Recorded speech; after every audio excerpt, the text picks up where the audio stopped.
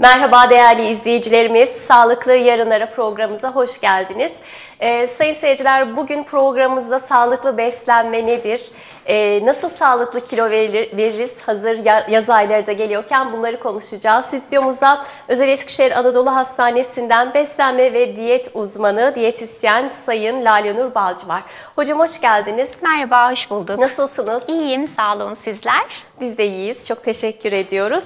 Bugün aslında beslenmenin ne kadar önemli olduğunu, daha doğrusu sağlıklı beslenmenin ne kadar önemli olduğu üzerinde duracağız. Sadece kilo vermek anlamında değil aslında. Çünkü burada yaptığımız pek çok programda şunu gördük ki eğer sağlıklı beslenmiyorsak bu birçok hastalığı da aslında tetikliyor. Evet.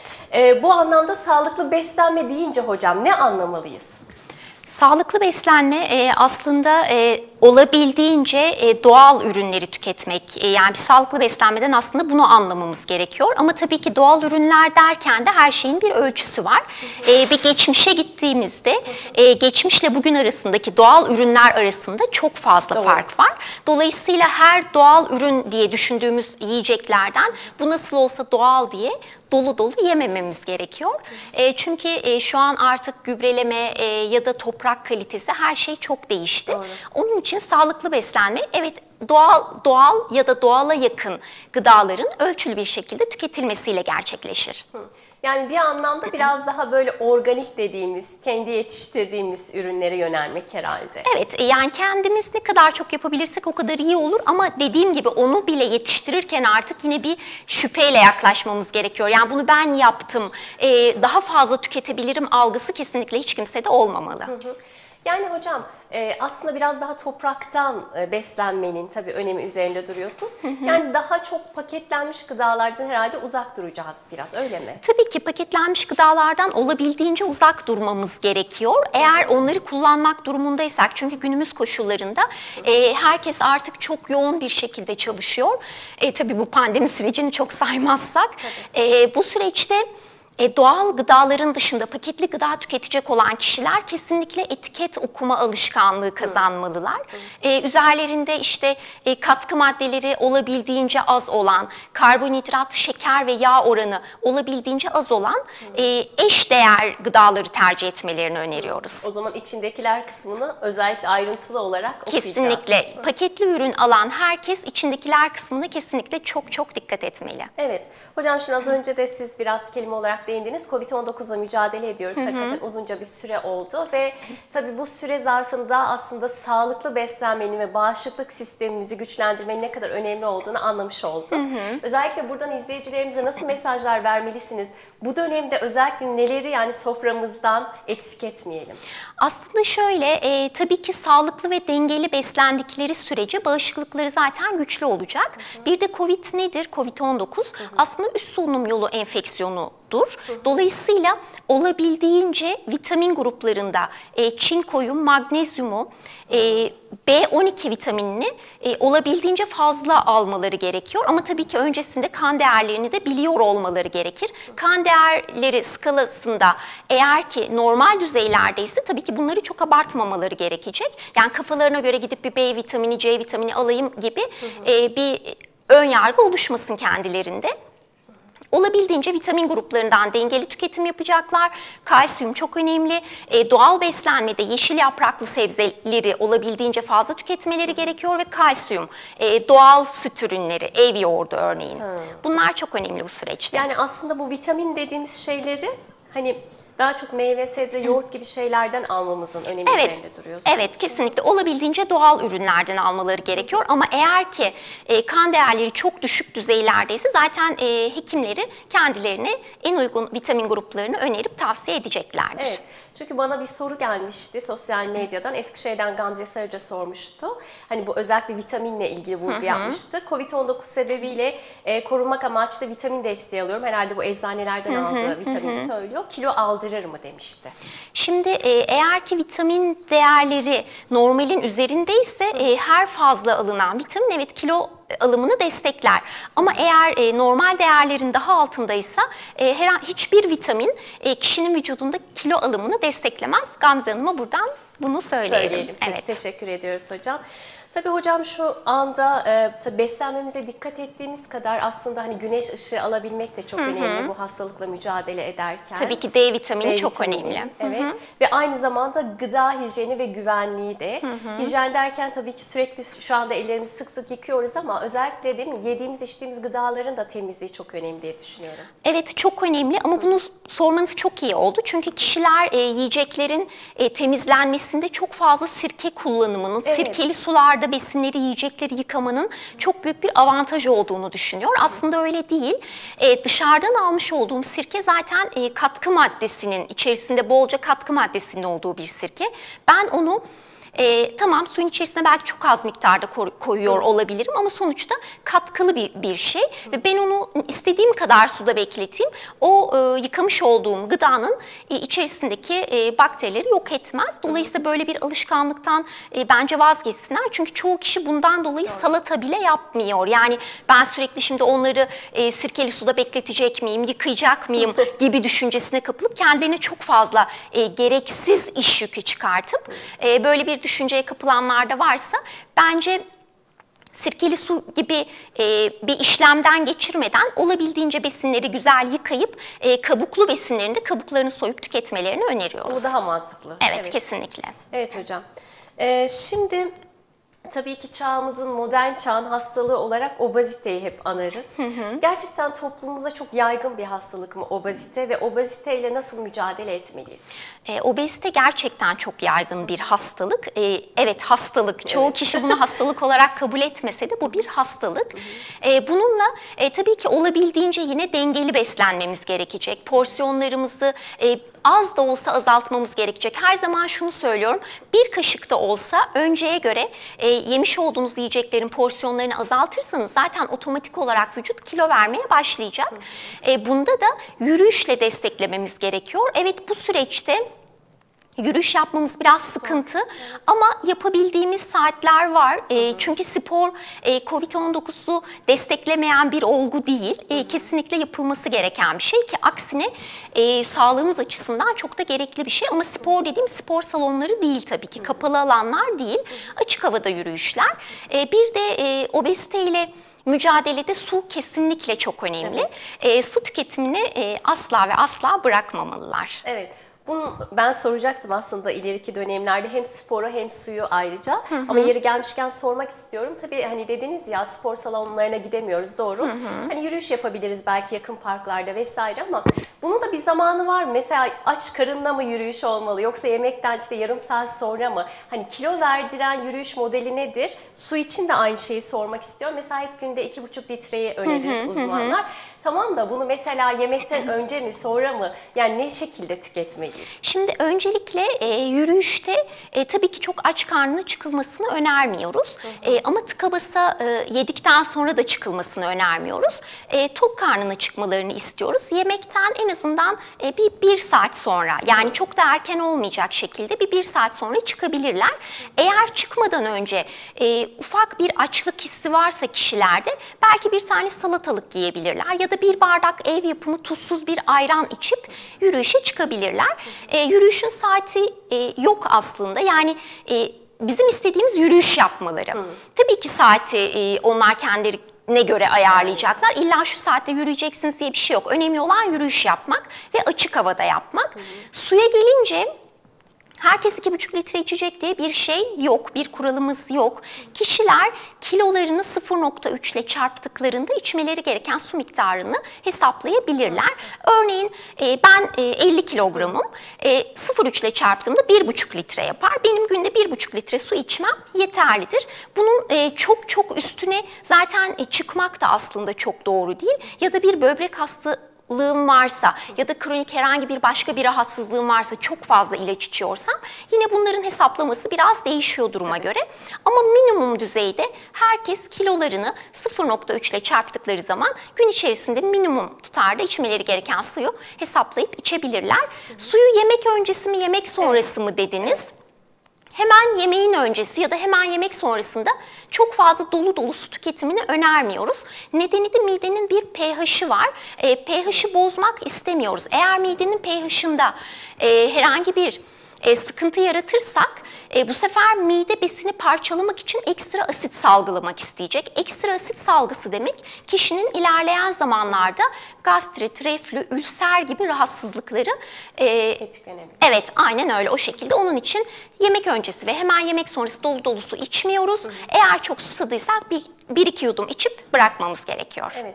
Şimdi dediniz ki mesela 0.3 ile kendi kilomuzu çarpacağız. Mesela ileriki kilodaki bir insan için mesela 90 kilo bir insan için bu yüksek bir rakam oluyor. 2.7 litre aslında 3 çok... litreye yakın oluyor demek ki. Evet, evet. e, E, bunu içemeyecek gibiyse mesela farklı ne bileyim işte bitkisel çaylarla karşılaması suyun yerini tutmuyor. Hayır tutmaz çünkü e, bitkisel çaylar, e, bitki çayları özellikle yoğun e, aromatik bitkilerin olduğu çaylar diyeyim ya da böyle 4-5 tane çay çeşidini, bitki çeşidini karıştırıp kendine çay yapan kişiler bunlar aksine e, vücuttan daha fazla su atmış oluyorlar. Çünkü her bitkide e, tanen içerikli maddeler var. E, bunlar da vücuttan su atımını destekler. Örneğin ben gün içerisinde diyelim ki 1 litre çay, kahve, bitki çayı içtim. Benim vücudum ortalama 2 litreye yakın dışarıya su atar. Ben o gün 2 litre içmediysem vücudum hep kendi suyundan atacak. İşte vücudun yaşlanması demek bu aslında su kaybı. Ki su gerçekten çok önemli. Ben bana gelen herkese e, bunu muhakkak söylerim. E, anne karnında bile suyun içinde dünyaya geliyoruz. Yani su bizim için gerçekten hayat ve yaşam. Onun için e, olabildiğince e, zayıflama çayları, bitki çayları bunlar minimum düzeyde tutulmalı. Çok fazla çay içiyorsak eğer bunun da çayın demini biraz azaltarak tüketmemiz her zaman bizim için vücut suyumuzun artmasına e, destek Aynen. sağlayacak ve e, yağ yakımını tabii ki hızlandıracak. Evet. Hocam çaylardan en çok mesela en sağlıklı dediğiniz nedir? Yeşil çay mı mesela? Ben olabildiğince taze bitki çaylarını öneriyorum. Çok sallama poşet açıkçası önermiyorum. Eğer bitki yaprak şeklindeyse olabilir. Ee, onlardan da hepsi içilebilir. Olabilir. Evet aynen. Sonuçta taze bitki olduğu için e, çok bir sıkıntı yok ve ben genelde tek tip bitkiyi e, çay olarak demleyip içmelerini öneriyorum. Böyle birkaç bitkiyi karıştırıp içmelerini Kış önermiyorum. çayı gibi mesela Evet. çok önermiyorsunuz. Evet. Evet, sağlıklı aslında su tüketimi aynı zamanda mesela cildimizi de çok sağlıklı gösteren Tabii bir şey. ki. Mesela şu anda sizi görüyorum cildiniz ışıl ışıl parlıyor. Aa, teşekkür ederim. Aynı zamanda bu için, bunun için de çok önemli değil mi? Yani yaşlanmayı da sanıyorum geciktiren bir özelliği Tabii var. ki kesinlikle. Ya su dediğim gibi hayattır. Gerçekten hayattır. Yani onun için su asla ve asla e, kilo verme sürecindeki kişiler içinde, kilolarını sabit korumak isteyen içinde, kilo almak isteyenler içinde kesinlikle olmazsa olmaz. Mesela kilo almaya gelenler oluyor. Onlara da aynı şekilde ben kilolarını 0,3 ile çarpıp veriyorum. Yani ah su içmek yağ yakımını destekler ben sularını azaltayım demiyorum. Çünkü su olmazsa olmazımız. Yani kilo aldırırken de verdirirken de çok önemli. Evet, kesinlikle, kesinlikle. Çok doğru hocam. Dediğiniz gibi yaşam kaynağı gerçekten su. Evet. Ee, şimdi hocam yaza yaklaşıyoruz. Bahar aylarına girdik. Ee, tabii ki yaz yaklaşırken böyle kilo verme telaşına giriyoruz hepimiz aslında. Bu anlamda mesela e, bir kişi geldi sizin kapınızı çaldı. Nasıl işliyor bu kilo verdirme süreci? Mesela 3 ayda e, işte 6 kilo vermek istiyorum dedi. Bu çok mümkün mü? Ve nasıl işliyor bu süreç? Şimdi şöyle, öncelikle kişiler geliyor. Eğer ellerinde son 6 ay içerisinde yaptırmış oldukları tahliller varsa onları göz önüne alarak, kendileriyle konuşarak öncelikle vücut yağ kas su oranlarına bakıyoruz. Ee, ve bu ölçüde kendilerine en uygun beslenme e, programını oluşturuyoruz. Çünkü kişinin e, biz burada Kilo vermek tabii ki hedef o kişi için, gelen kişi için. Ama bizim için kilo verdirmekten ziyade e, kalıcı kiloyu sağlayabilmek için, verdikten sonra kişinin kilosunu koruyabileceği programlar oluşturabilmek. Dolayısıyla biz kişiye en uygun beslenme listelerini oluşturarak kişinin istediği süreçte Tabii ki herkes de, herkesin istediği süreçte istediği kiloyu verdiremiyoruz. Hem e, bazı kişilerde sağlık açısından, bazı kişilerde e, kronik rahatsızlıklar olabiliyor ya da metabolik hastalıklar olabiliyor. Bunlara göre kişilerin kilo verme hızı ve tabii ki listeye uyumları çok önemli. E, kişinin ne kadar çok istediğiyle de alakalı bir durum bu.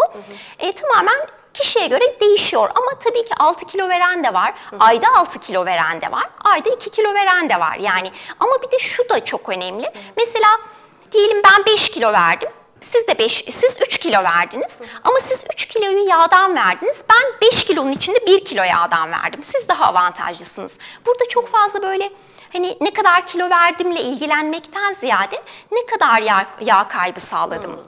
Yani önemli Bunlar olan yağ kaybı. Evet, yağ kaybı önemli. Evet.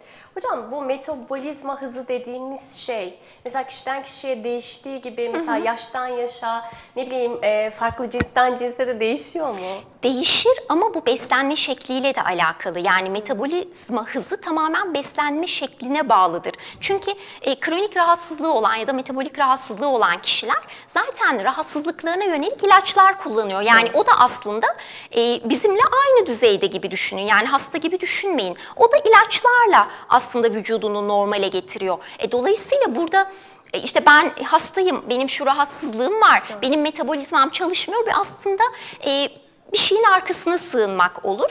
E, dediğim gibi kişi doğru beslenirse, e, doğru alışkanlıklar kazanarak bu süreci devam ettirirse herkesin metabolizması gayet de güzel çalışır. Bunda yaş olgusu, e, yaş durumu e, çok fazla etkili değil. Etkili değil. Çünkü hep öyle toplumda bir inanış var ya yani ben yaş aldıkça metabolizmam yavaşladı, kilo alıyorum falan diye değil mi? Toplumda çok konuşulan böyle yaygın bir inanç var. O yüzden özellikle sormak istedim. Şimdi Japonlara bakıyoruz. E, 70-80 yaşında %90'ı çok zayıf. Doğru. Yani, yani o zaman onların da metabolizmasının çalışmıyor olması gerekir. Yani yaşla alakalı değil. Bu tamamen bizimle alakalı olan bir şey. Peki. Şimdi e, aslında dediniz ya hani bu kalıcı olması çok önemli diye. Yani sanıyorum e, diyetisyenle çalışırken bir anlamda beslenme yaşam biçimi haline dönüşüyor. Evet. Ve o kişinin mesela hani sabah kalkma saati, akşam yatma saati bunlar da çok önemli sanıyorum değil mi hocam? Uyku da yani sağlıklı bir uyku da kilo vermede çok önemli diye düşünüyorum. Şimdi tabii ki belirli bir saat uyumak önemli bizim için. Ama eğer ki kişinin e, çalışma şekli, çalışma koşulları, kimi vardiyalı çalışabiliyor, Tabii, kimisi oluyor. işte yeni doğum yapmış oluyor yani sabaha kadar uyumuyor olabiliyor. Dolayısıyla bunlar e, aslında listede saat kuralımız olmuyor. Sadece yeme içme işleminin saatini işte son saatleri işte şu saatte akşam yemeği bitmiş olmalı diyoruz. Şu saatte değil uykudan şu kadar süre önce ya da işte son yem- yeme içme işlemi ara öğünleriniz uyumadan şu kadar saat önce bitmiş olmalı diyoruz. Ama o zaman dilimine kadar herhangi bir saat kuralı vermiyoruz kendilerine. Hocam özellikle bu ara öğünün altını çizelim. Çünkü toplumda yaygın olarak sanıyorum böyle üç öğüne bağlı kalmak var. Yani bu ara öğün deyince ne anlamalıyız? Mesela öğle yemeğini işte saat 12.30'da yedik. Ara öğünümüz kaçta olmalı ve ara öğünde özellikle neleri tüketebiliriz? Şimdi aslında şu var, kişi 12.30'da yemek yedi ama yemekte karbonhidratı çok yüksek şeyler yedi. Hemen arkasından tatlı yedi. Bu kişiye sen 3 saat aç kalacaksın diyemezsin. Çünkü bu kişi çok kısa sürede acıkacaktır. Burada aslında çok da saat kuralı yine uygulamıyoruz. Kişi ne zaman acıktıysa o zaman ara öğün yapacak. Yani ben ona illa şu kadar süre aç kalacaksın demiyorum ama ne yapıyorum? Öğlen yemeğini o kadar dengeli oluşturuyoruz ki kişi zaten 2,5-3-4 saate kadar zaten açlık hissi e, duymuyor. Duymuyor. Evet dolayısıyla oralarda saat kuralı vermiyorum ama ara öğün ne olur derseniz e, öncelikle ev yapımı tuzsuz ayran veriyoruz. Yaz geliyor salatalık olabilir. Onun dışında kuru yemiş olabilir ama tabii ki yine ölçülü tüketmeleri gerekiyor. Şimdi bunları sayıyorum ama her şeyden dolu dolu olmaz. Hatta geçen gün domatesi konuşuyoruz.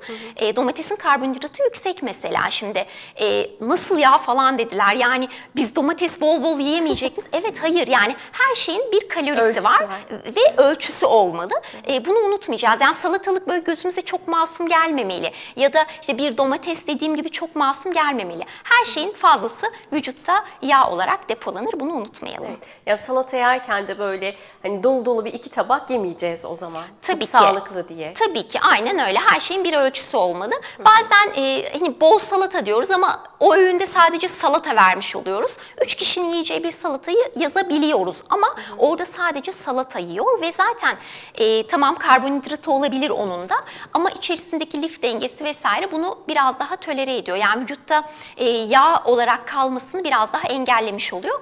Doğru besinler, doğru ölçüler her zaman e, kişinin e, kilo almamasını destekleyecektir. Evet.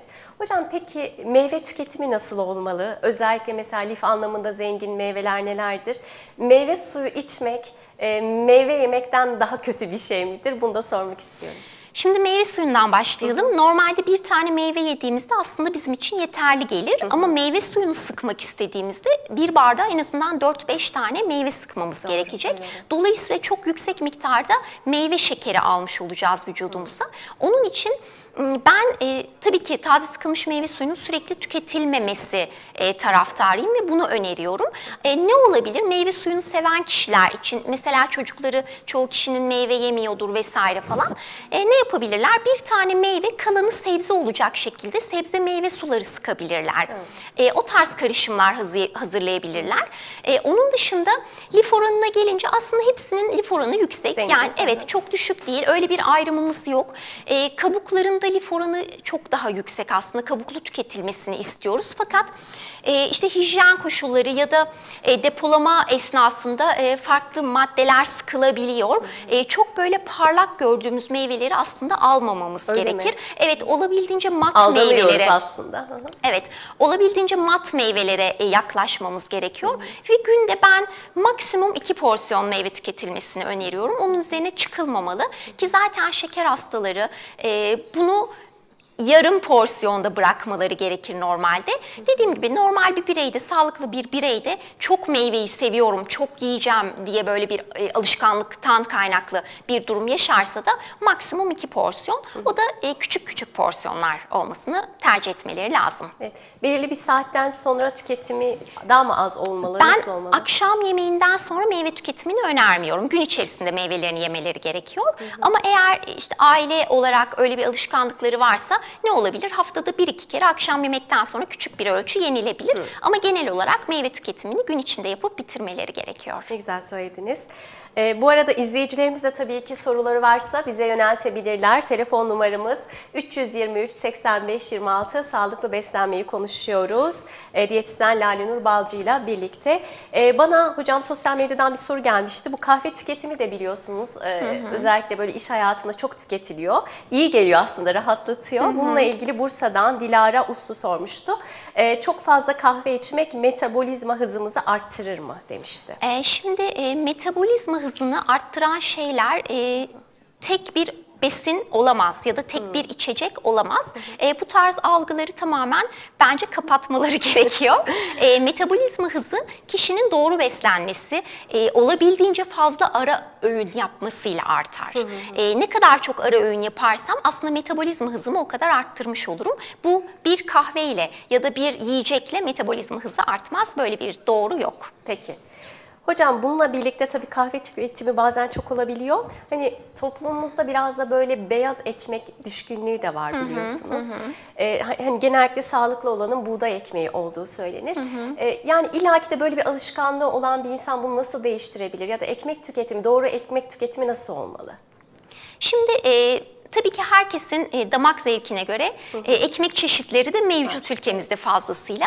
Bir kere paketli ekmekleri çok önermiyorum öncelikle. Çünkü paketli ekmeklerin katkı maddeleri çok daha fazla oluyor e, raf ömründen dolayı. E, genelde fırından almalarını ya da tabii ki öncelikli olarak evde yapabiliyorlarsa onu öneriyorum. E, bunda da ekmeklerini sürekli değiştirebilirler. Kimi zaman tam buğday, kimi zaman çavdar, e, kimi zaman ekşi mayalı beyaz ekmek olabilir. E, sürekli değiştirsinler. Arada da vasa yiyebilirler. Belki Etmek paketli bir ürün ama e, en azından kalorisi biraz daha düşüktür. Arada etmek olabilir. E, bunları tercih edip e, kullanabilirler. Ekmeklerini sürekli değiştirsinler. Eğer ki B vitamini eksikliği çok yoksa kişide e, pardon çoksa kişide e, kepek ekmeğini çok fazla tüketmemesi gerekiyor. Onun haricinde herkes e, ekmekleri sürekli değişimli kullanabilir. Evet, bu kepek ekmeği ile ilgili herhalde toplumda yıllarca yanlış bir inanç oldu. Sanki o kilo verdiriyormuş gibi değil mi? Uzunca bir süre kepek ekmek tüketildi yani bu diyet zamanlarında. Evet aslında e, kepek e, lif oranı yüksek olduğu için e, bağırsaklarda da etki yarattığından dolayı boşaltımı desteklediği için aslında e, daha çok e, o dönemler kullanıldı. Tabii ki e, kısmen kilo vermeyi de etkiler ama sonuçta kepek ekmeğinin çok fazla tüketilmesi de sağlıklı değil. Bir de şimdi şu var, e, ben işte bi- bir tane ekmek yiyorum ama kepek ekmeği yiyorum. Tabii ki böyle bir şey yok yani. Sen bir tane ekmek yersen e, yine tabii ki kilo alacaksın. Ölçü olmalı. Yani kepek ekmek yiyorum diye gidip bir tane ekmek yersen olmaz. Her şeyi ölçülü ve az kullanacağım. Evet. Peki. Peki hocam şimdi burada izleyici soruları var. Onlara bakıyordum ben. E, mesela kan kolesterolümü düşürmek istiyorum. Nasıl beslenmeliyim diye bir soru var. Şimdi kolesterolü düşürmek için kesinlikle ve kesinlikle yürüyüş şart. Yani eğer ki bir ilaçla e, kolesterol düş, düşürülmek istenmiyorsa yürüyüş yapılması gerekiyor. Su yine çok önemli, e, ölçü yine çok önemli. E, azar azar sık sık yesin, metabolizmasını biraz çalıştırsın ve e, yağlı yiyeceklerden olabildiğince uzak durması gerekiyor. Bir de yemeklerin suyunu asla yemesin. Tencere yemeklerinde, sulu yemeklerin suyunu yemesin. Evet. Sanıyorum bu hani biraz kültür olarak da böyle sulu yemeği çok yapıyoruz ve hani böyle tabakların dibinde kaldığını genellikle kişiler onu ekmekle hani Evet, yemeği evet. çok severler ama bu da artı bir kilo olarak geri dönüyor galiba hocam. E tabii ki şimdi yemeğin suyunda baharatı, yağı, her şeyi yemeğin suyunda aslında. Yani en kalorili kısmı yemeğin suyu oluyor. Bir de ekmek batırdığımız zaman kalori e, Artıyor. otomatik olarak evet e, çok daha fazlasına çıkıyor. E, onun için yemeklerin suyunu yemelerini önermiyorum. Evet. Hocam şimdi tabii böyle yaz gelirken dedim kilo vermek istiyoruz. Eğer bir uzmana, diyetisyene gitmiyorsak mesela kendimiz kilo vermeye çalışıyorsak en önce ne yapıyoruz? Ekmekten kısıyoruz. Yani karbonhidrattan kısıyoruz. Evet. Bunu sormak istiyorum. Bu doğru bir şey midir? Yine uzmana gitmiyorsak böyle diyet ürünlerine çok yöneliyoruz. Mesela işte diyet ekmek atıyorum, diyet yoğurt. Bunlar da doğru mu sizce? E, hayır bunlar doğru değil. E, evet ekmeği azaltmak doğru ama sürekli diyet ürünlere yönelmek doğru bir şey değil. Çünkü onların da aslında içerisinde karbonhidratları var ve yüksek. Yani ben diyet bisküvi yiyorum ya da diyet yoğurt kullanıyorum e, diye bir durum e, söz konusu olmamalı ve alışkanlıklarımızı e, o yönde bence geliştirmemeliyiz. Olabildiğince konuştuğumuz şeyleri yapmalılar. Yani ölçüleri azaltmalılar ve olabildiğince doğal e, besinler ve yiyecekler tüketmeliler. Peki. Hocam tabii ki böyle sorulara da bakıyorum. Ee, yapay tatlandırıcılar var. Bununla ilgili neler söylemek istersiniz? Zayıflama çayları ve bitkisel çaylar zayıflatır mı diye de bir soru var. Zayıflama çayları ve bitkisel çaylar e, vücuttan su kaybettirirler. Aslında e, zayıflatmazlar, yağ yakımını desteklemezler. E, dolayısıyla da vücuttan e, kaybedilen sıvı aslında ilerleyen zamanlarda senin vücudunda e, yağ kütlesinin artışı demek olur. Yani o an kilo verebilirler ama dediğim gibi sudan kaybederler ve zaten çok sağlıklı bir şey değil çok fazla böyle bitkisel kürler kullanmak. E, karaciğerde sıkıntılar yaratır. Hatta kan değerlerinde bile ciddi anlamda sıkıntılar oluşan kişiler görüyoruz biz. E, Stevia gibi tatlandırıcıları sordunuz. Ben tatlandırıcı açıkçası önermiyorum. Onlar da sonuçta yine karbonhidrat e, ve şeker olarak vücutta yağ yapımını desteklerler. Yani ben e, tatlandırıcı kullanıyorum. İşte şunu e, şu kadar kullanabilirim gibi bir e, düşünce içine yine girmesinler. Peki hocam. Tabii gazlı içecekler yani sorsam mı diye çok düşünüyorum. Çünkü tabii ki e, sağlıklı olmadığını biliyoruz. Ama yine mesela sağlıklı olduğunu düşündüğümüz bir takım gazlı içecekler var. Nedir bunlar? Mesela soda.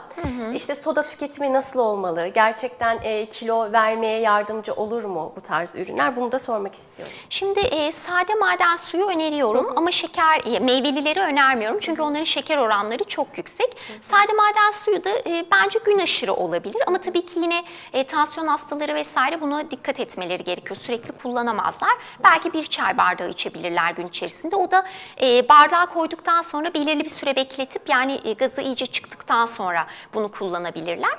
E, ama onun dışında meyveli sodaları asla önermiyorum. Gün içerisinde birden fazla soda içenler var.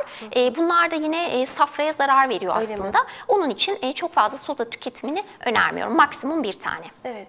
Hocam şimdi tabii böyle diyet diyet deyince kişiler biraz korkuyorlar. Yani çünkü eski alışkanlıklarımızdan vazgeçmek hakikaten çok kolay olmasa gerek.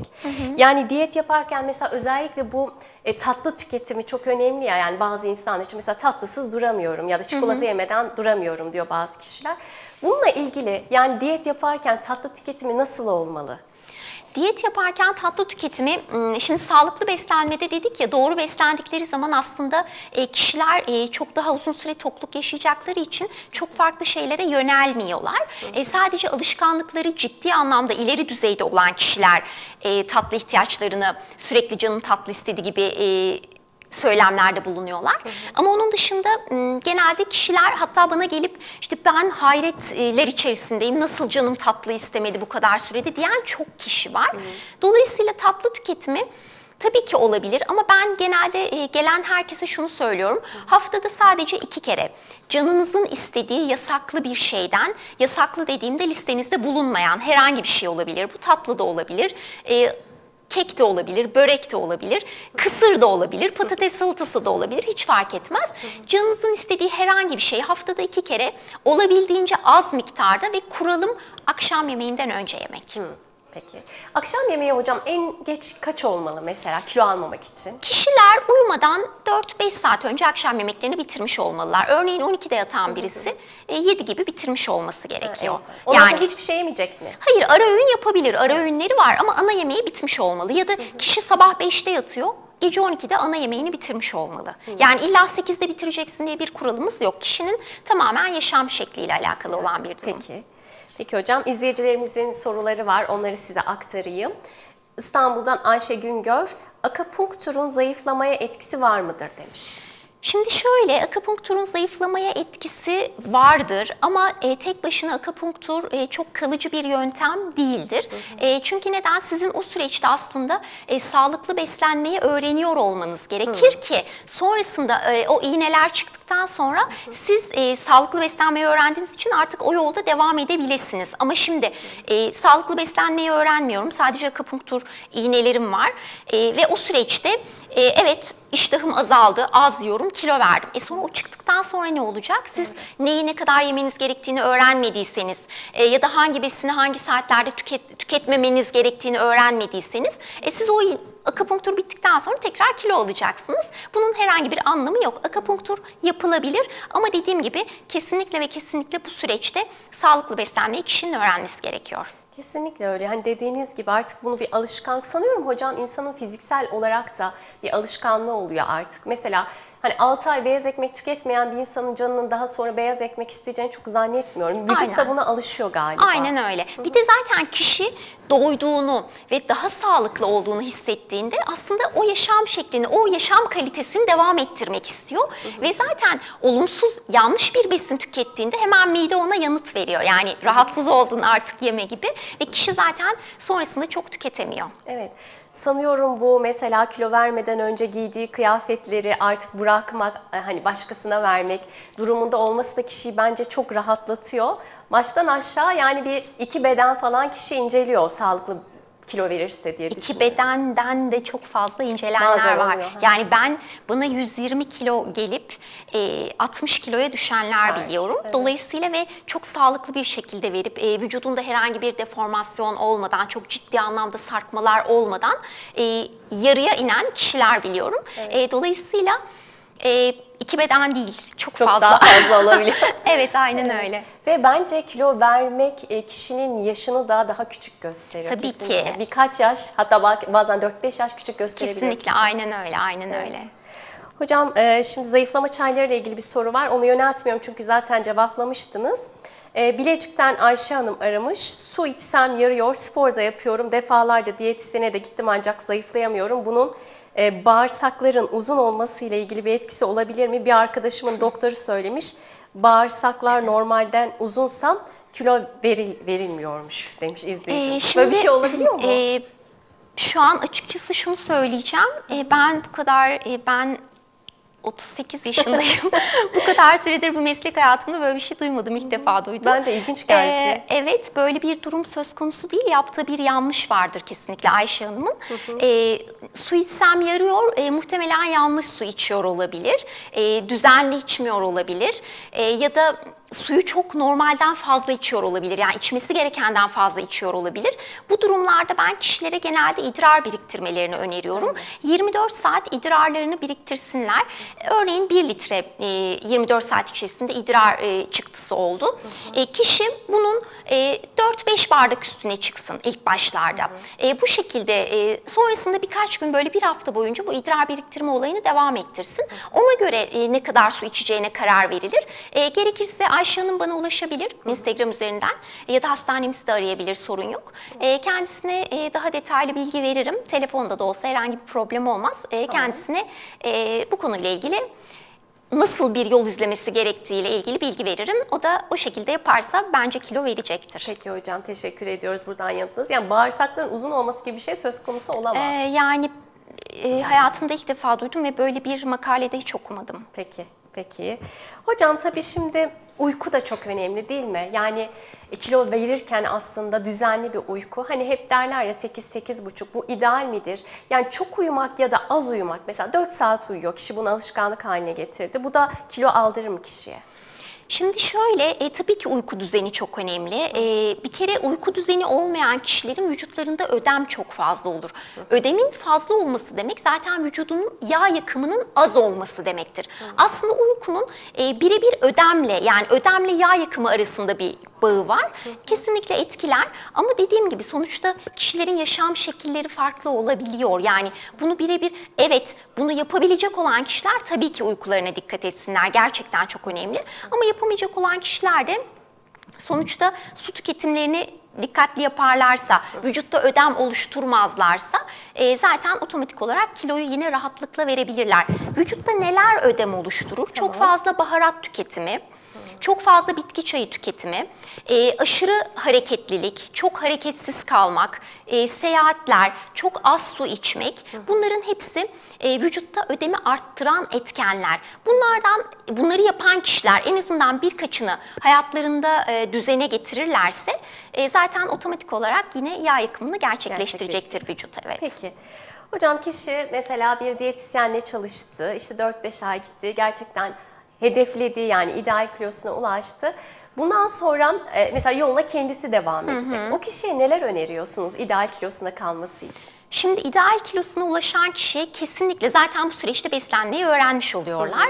Ee, oraya geldiklerinde zaten son olarak söylediğim şeyler 3 günde bir kesinlikle tartılacaksınız diyorum. Çünkü e, kilo alımı 3 günden sonra e, artık kontrolden çıkar. 3 günde bir muhakkak tartılmaları gerekir. E, bir de zaman zaman akşam yatmadan tartılmalarını istiyorum. Akşam yatmadan tartılacaklar, kilolarını not etsinler. Sabah uyandıklarında yine aynı şekilde tartılıp kilolarını yazsınlar. Eğer akşamki tartıyla sabahki tartı arasında fazlalık fark varsa yani akşam 50 kilogram çıktım sabah 51 çıktım. Demek ki bir gün önce karbonhidratı çok tüketmişler ya da suyu az tüketmişler. Hemen o gün olabildiğince karbonhidratı azaltacaklar. Dengeleyecekler. Evet, besmeleyi. dengeleyecekler. Bunlara dikkat etmelerini öneriyorum. Hareket yine zaten çok önemli, su tüketimi çok önemli ve dediğim gibi bu süreçte e, ki kazanmış oldukları alışkanlıkları olabildiğince maksimum düzeyde uymalarını söylüyorum. Ve zaten gerektiğinde de e, bana istedikleri zaman ulaşabileceklerini, kafalarına takılan sorular varsa yine sorabileceklerini söylüyorum. Bu şekilde ayrılıyoruz. Evet. E, tabii şimdi mesela isim vermek istemiyorum ama çok yaygın diyetler var. Mesela sadece protein ağırlıklı olan hani biliyorsunuz çok yaygın kullanılan. Bunları öneriyor musunuz? Mesela şok diyetler. Bir haftada şu kadar kilo verdireceğim diye. Mesela vatandaşlar internetten araştırıp yapıyorlar. Çok sağlıklı mı sizce? Şimdi internetten araştırıp e, yapmak tabii ki doğru değil. E, kişiye göre listeler hazırlanmalı. Ama tabii ki yeri geliyor bir haftalık listeler yapıyoruz. Hiç kimse bir hafta aç kaldığında ölmez. Yani e, ölecek olsa Afrika'dakiler ölmüş olurdu. Dolayısıyla tabii ki yapılabilir ama bunlar uzun vadede asla olmamalı. Kesinlikle yanlış. Yani Diğer organlara da zarar verebilir belki. Ay, aynen hocam? öyle. Bir kere bir haftalık yapılan düşük kalorili diyetler bile karbonhidrat, protein ve yağ dengesini içeriyor olmalı. Yani tek tip bir e, yiyecekle ya da tamamen proteini çıkartarak, tamamen karbonhidratı çıkartarak kişiler beslenmemeli. Nedir? Evet 3 gün karbonhidrat çıkabilir. 3 gün tamamen protein çıkabilir. O da protein kaynakları tamamen çıkmaz. Mesela sadece et ürünleri çıkabilir. Ama bitkisel protein yine listede olmalı. Ya da bitkisel proteini tamamen çıkartıp atıyorum işte e, bir beyaz et olabilir. e, o anki listesinde ama karbonhidrat protein yağ dengesi kesinlikle olmalı. Düşük kalorili diyet bile olsa bu denge kesinlikle e, sağlanıyor olmalı. Evet. Hocam şimdi tabii gelen sorular arasında böyle hamile izleyicilerimiz de soruları var. Onlara da bakmıştım az önce. Ee, yani tabii ki kişi hamilelik sürecinde eğer çok fazla hani kilo almak istemiyorsa bu durumda nelere dikkat etmeli? Hamilelikten sonra işte bebeğini eline aldıktan sonra e, hemen diyete başlamalı mı? Şimdi e, hamile kalmadan önce hamilelik sürecinde ve hamilelikten sonra tabii ki diyet yapabilir kişiler. E, çünkü aslında diyet demeyelim, sağlıklı, Sağlıklı beslenme, beslenme, diyelim. Evet. E, dolayısıyla yapılabilir herhangi bir problem yok. Bu süreçte zaten ilk 4 aya kadar, e, ilk 3 aya kadar pardon kişilerde biz kilo verdirtiyoruz hamile annelerde. Çünkü bebek zaten tam oluşmamış e, oluyor. Kişinin de kilosu fazlaysa doğuma daha sağlıklı girmesi ve e, daha rahat bir doğum yapabilmesi için ilk 3 ay zaten kilo verdirtiyoruz. Sonrasında da zaten bebeğin midesi ne kadar olacak ki? Yani bir kaşık fazla yemiş olması e, ona yeterli gelecektir. Yani e, sağlıklı beslenme listelerinde zaten bütün vitamin, e, mineral, e, karbonhidrat, yağ, protein dengesi olduğu için e, kişiler yine dediğim gibi hamilelik sürecinde çok kilo almadan e, bu süreci tamamlayabiliyorlar. Ama dengeli beslenmek şartıyla Evet. tabii ki. Ölçü e, işte sen hamilesin şunu da ye, hamilesin iki katı ye böyle bir şey yok tabii ki. Bunlar e, kesinlikle çok yanlış. Aksine doğumu zorlaştırıyoruz. Yani e, yağ kütlesi arttıkça e, bebeğin gerçekten e, doğumda farklı riskler oluşturmuş oluyoruz. Onun için e, çok fazla abartıya kaçmadan sağlıklı beslenerek öyle normalin iki katı yemeden yine hareketi eğer hekiminin hani yapma dediği bir hareket olmadığı sürece hareketini de işte yogasını, yeri gelir pilatesini yaparak bu süreci bence çok sağlıklı bir şekilde geçirebilirler. Evet. Hocam ideal bir kilo aralığı var mıdır? Mesela hamilelikte ne kadar kilo almak iyidir? Hamilelikte e, ben eğer ki düşük doğum düşük kiloyla hamile kalan kişilerde maksimum 8 kilo. E, yüksek kilolu olan bir kişi hamile kaldıysa o da en fazla 11-12 kilograma kadar çıkabilir. Hani buna bile çıkmasını istemiyoruz aslında. Ama hadi maksimum ola ki kişi kendi başına hani bir şeyler yapmaya çalışıyor. e, herhangi bir uzmandan destek alamıyorsa kilosunu bu şekilde ayarlayabilir. 50 kilogramda hamile kalan bir kişi maksimum 58 olmalı. E, 70-80 kilogramla hamile kalan birisi maksimum işte 80 ise 92 kilograma kadar çıkmalı. Bunu kendileri e, kontrol altına almaları gerekir.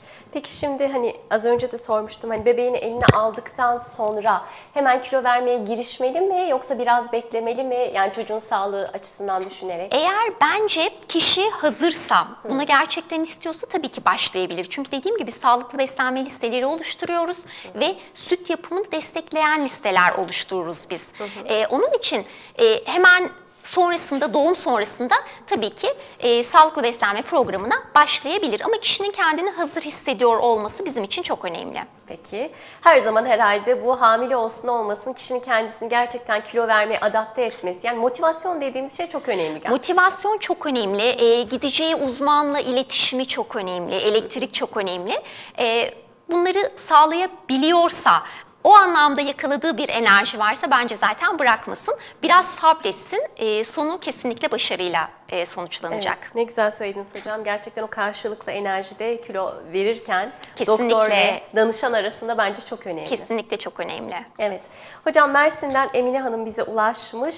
Ee, kilo alma ile ilgili bir sorunu varmış. Kilo alamıyorum, pardon. 32 yaşındayım, boyum 1.63, kilom 48, çok zayıfım. Nasıl bir diyet uygulanmalı? Önerilerinizi alabilir miyim demiş. Tamam aslında Bu şu da bir problem. Yani hep vermeyi konuşuyoruz ama değil mi? Alamamak sorun Evet. yaşayanlar da var. Aslında şunu söyleyeceğim. İsmi neydi hanımefendinin? Emine Hanım. Emine Hanım e, bence kilonuz aslında çok da düşük değil. Yani kendinizi hani bu psikolojiye bence sokmayın. 63'e 1.63'e 48 çok Yani bence çok ürkütücü bir Ürkütücü rakam değil. Bence e, alabilir kilo ama kendisi de çok aşırı zayıfım e, diyerek psikolojik olarak e, sıkıntıya sokmaması gerekiyor. Çünkü kilo almakta, kilo vermekte psikolojiyle çok bağlantılı. E, bir şeye takıntılı olduğumuz durumlarda ne kadar istesek de alamıyor olabiliriz. E, kendisini biraz rahat bırakmasını öneriyorum. Artı eğer herhangi bir e, kronik rahatsızlığı yoksa e, yine her şeyden yiyecek, azar azar sık sık yiyecek. Ara öğünler kendisi için çok önemli. Ne kadar çok ara öğün yaparsa iştahını o kadar çok açacaktır. Örneğin e, ne yapabilir? İşte ara öğünlerde ekmeğinin ya da eti formunun, etimeğinin üzerine bir fındık ezmesi, fıstık ezmesi sürüp yiyebilir. E, ya da taze sıkılmış meyve suyu içebilir her gün olmamak koşuluyla. Sebze meyve suyunu karıştırıp içebilir. E, ya da ne yapabilir? İşte meyveli, sütlü, e, kuru yemişli artı içine de fıstık ezmesi ya da fındık ezmesi attığı blenderize edilmiş karışımlar yapabilir. Ama çok fazla sıvı tüketimini önermiyorum. Ana yemeklerde önceliği katı yemeklerden başlamalı. Normalde Türk toplumu hep e, çorba ile başlar ana yemeğe. Doğru. Ama kilo alamayan kişilerde ben çorbayı eğer midelerinde yer kalırsa ya da çok sevdikleri bir çorbaysa en sona bırakmalarını öneriyorum. Kesinlikle sıvıları e, yemeklerden sonra tüketsinler. Çünkü midede e, çok fazla doluluk hissi olmamalı. Sıvılar mideyi daha kısa sürede doldurur. E, o da asıl ana yemesi gereken yemeği e, yemesini engeller. Dolayısıyla yemekleri olabildiğince fazla yiyip sıvıları olabildiğince az tutup ara öğün sayısını arttırıp kalorili şeyler tüketerek e, kilo alımını sağlayabilir. Peki kilo almakla ilgili problem yaşayan izleyicilerimize de buradan önerilerimiz olsun böyle. Bir başka soru hocam Kütahya'dan Gülseren Sağlam. Menopozda kilo verebilir miyim? Tabii menopozda beslenme de herhalde ayrı bir konu başlığı. Ee, şimdi Gülseren Hanım tabii ki verebilirsiniz. Ee, dediğim gibi biz e, metabolizma hızınızı e, sağlıklı beslenmeyle, doğru beslenmeyle doğru orantılı olarak e, söyledik ve e, o şekilde ilerliyor. E, menopoz döneminde de çok rahat e, kilo verimi sağlanabilir. Evet. Hocam tabii az önce de yani program başında da belirtmiştiniz bazı hastalıklarla mücadele eden vatandaşlarımız da var. İşte şeker hastalığı gibi farklı farklı. Mesela onların kilo vermelerinde de e, bazen sıkıntı olabilir. Belki farklı beslenmeleri gerekebilir. Mesela demir eksikliği olanlar nasıl beslenmeli diye bir soru gelmiş. Şimdi demir eksikliği olanlar e, bir kere kırmızı et tüketimini yaparken e, eğer yiyorlarsa e, olabildiğince az pişmiş olmalı. Daha çiğe yakın e, bir kırmızı et tüketmeleri gerekiyor. Daha kanlı bir kırmızı et tüketmeleri gerekiyor. E, onun dışında e, kuru yemişler, yağlı tohumlar e, demir içeriği açısından zengindir. Onları tüketebilirler. E, artı pekmez kalsiyum açısından zengindir. Demir açısından zengin değildir. Dolayısıyla oturup dolu dolu pekmez içmelerini ya da her gün pekmez tüketmelerini önermiyorum. Aksine yağ yapımını destekler. E, öyle bir algıyı kapatsınlar. E, artı demir tüketimini kuru baklagiller e, en iyi düzeyde arttırırlar. Kuru baklagilli e, sebze, örneğin salatanın içerisine yeşil mercimek atıp e, onu tüketmesi demir yapımını destekler. Ya da e, salatanın içerisine nohut, e, kuru fasulye atıp onu tüketmesi demir yapımını destekler. Ya da kuru fasulye yemeğinin yanına bir salata e, tercih etmesi demir yapımını destekler. Ya da kuru fasulye ya da nohutun yanına yani bir kuru baklagilin yanına bir sebze yemeği yemesi demir yapımını destekler. Bu şekilde demir e, depolarını arttırabilirler. Evet. Hocam et tüketimi demişken biraz ona da değinelim. Mesela et tüketimi özellikle kilo vermede yani sağlıklı beslenmede diyelim artık nasıl olmalı? Mesela beyaz et tüketimi daha çok kırmızı et tüketimi tavsiye edersin. E, şimdi tabii ki beyaz et tüketimini daha çok e, öneriyoruz. Ama bu da bir, bir tavuk falan değil. Yani eğer bildiğiniz bir çiftlik tavuğuysa evet olabilir. Daha çok ben balık tüketiminden yanayım. E, işte yaz geldi balık mevsimi değil falan Doğru. deniliyor. Ama Sezon öyle, kapanıyor. Ama şu var aslında sezon kapanmıyor. Neden böyle bir algı, Algı var onu var da bilmiyorum. evet. E, her ayın kendine özgü balıkları var ve bunun da bir tablosu var. En kötü ihtimalle internete girip baktıklarında hangi mevsim, hangi ay, hangi balık tüketilir bunları araştırıp bulabilirler ve yiyebilirler. Mevsiminde alınan balık e, fiyat olarak da çok aşırı da yüksek olmaz. Yani maddi olarak da kendilerini çok zorlamaz. E, onun dışında kırmızı et tüketimini ben e, açıkçası haftada iki kereden fazla önermiyorum eğer tüketecekse kişiler. E, ya bir tencere yemeği olabilir, etli yemek olabilir. Ya bir köfte olur ya da işte biftek tarzında bir şey olabilir ama haftada ikiyi çok geçmemeli ve miktarını da çok e, aşırı fazla tutmamaları gerekir. Evet. Yine ben e, çok yaygın e, akıllarda olan bir soru var. Onu da sormak istiyorum artık programımız yavaş yavaş sonuna gelirken hocam. Bu e, özellikle kabuklu tarçınlar mesela işte suyun içine kilo vermek için bazen yapıyoruz ya da çayımıza ekliyoruz. Çünkü bunun e, nasıl desem tatlı tüketimini azalttığı e, gibi bir inanç var. Bu doğru mu? Şimdi e, Tarçın kullanımı evet kullanılabilir ama e, zaten toz tarçın ya da baharatların hiçbirinin tozunu önermiyorum. E, çubuk tarçın kullanılabilir ama çubuk tarçının da e, kaliteleri var. E, farklı işte Çin tarçını, Seylan tarçını gibi gibi. E, şimdi Seylan tarçını aslında en kaliteli tarçın ama şekere etki eden tarçın ım, Çin tarçını. Pardon. Bunu E, dolayısıyla Çin tarçını. Evet Çin tarçını sularını atabilirler ama her gün önermiyoruz. Çünkü onlarda da kumarin diye bir madde var. O madde karaciğere yine çok yüksek miktarlarda alındığında e, zarar veriyor. Onun için e, Çin tarçınını zaman zaman çubuk tarçın olarak e, sularını atıp tüketebilirler. Ama şu var e, kesinlikle aktarlara gitmeden önce Çin tarçını nasıl bir şekildedir? E, Seylan tarçını nasıl bir e, çubuktur? Bunları kesinlikle incelesinler. Her Seylan tarçını, her e, Çin tarçını dedikleri tarçını tarçın deyip Genelmesinler. evet alıp e, çıkmasınlar. Peki iyice incelesinler o zaman Aynen öyle. yediklerini içtiklerini. Hocam verdiğiniz değerli bilgiler için çok teşekkür ediyoruz. Son olarak buradan kameramız aracılığıyla izleyicilerimize sağlıklı beslenme ile ilgili özellikle Covid-19'la mücadele ettiğimiz bu günlerde nasıl mesajlar vermek istersiniz? Ee, yine aynı şeyleri söyleyeceğim aslında. Her şeyden dengeli e, ve ölçülü. E, miktarları kesinlikle bir önceki tüketimlerine göre daha da azaltılı, azaltarak e, yapmalarını öneriyorum. E, vitamin gruplarında e, D vitamini, e, kalsiyum, magnezyum bunlar bu süreçte e, çok önemli. C vitamini çok önemli. Olabildiğince doğal besinlerden almalarını öneriyorum. Yürüyüşü, suyu kesinlikle çok çok çok fazla öneriyorum.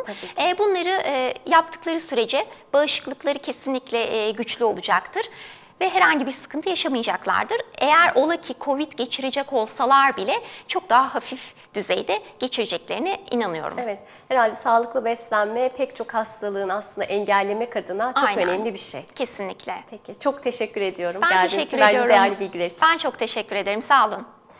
Sayın seyirciler, bugün Sağlıklı Yarın Ara programımızda Özel Eskişehir Anadolu Hastanesi'nden beslenme ve diyet uzmanı Sayın Lalenur Balcı'yı ağırladık. Programımızda sağlıklı ve dengeli beslenmek nasıl olur bunlar üzerinde durduk. Aslında porsiyon azaltmanın ne kadar önemli olduğunu, e, sağlıklı beslenirken spor yapmanın, hayatımıza aslında hareket katmanın ne kadar da önemli olduğunun üzerinde durmuş olduk. Önümüzdeki hafta farklı bir programda farklı konu ve konuklarla yeniden karşınızda olacağız. Görüşünceye dek hoşçakalın.